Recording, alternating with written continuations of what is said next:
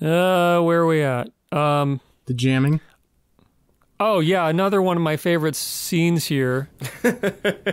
Suze, Suze can absolutely shred on the piano. This is Oh, great. she's Yeah. so good. Yeah. very talented. You know, she she is uh, the glue of the family. She's Mm-hmm. smart and she's talented. I mean, what could you ask for a better daughter? Like, really? like it, it's about right now that I questioned whether the family even needs the mother. Hmm. Hmm. Now, Paul, you referenced Suze as the glue of the family. yeah. I just want to let Was that you know. intentional? No, I didn't think about that. I just want to let you know that oh, God damn it. I have another peanut butter solution. Peanut butter solutions.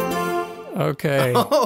this is my contribution since I read a really tough time with the first half of this thing. we appreciate it. Um, So, when you're in a sticky situation, you can Uh huh. Uh huh. use, you know, you've you've got to remove some glue. That's what you got to do, right?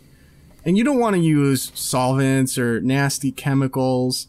Now, what you want to do is you want to rub peanut butter onto your hands for the affected surfaces. Um, for really bad finger, you got a lot of glue on them. You want to hold them in the jar of peanut butter for several minutes. Let me follow up by saying, do not eat the peanut butter afterwards. You're going to need to throw the peanut butter away. But those oils in the peanut butter will loosen the glue that's on your hands and help you get your hands uh, unglued. Huh.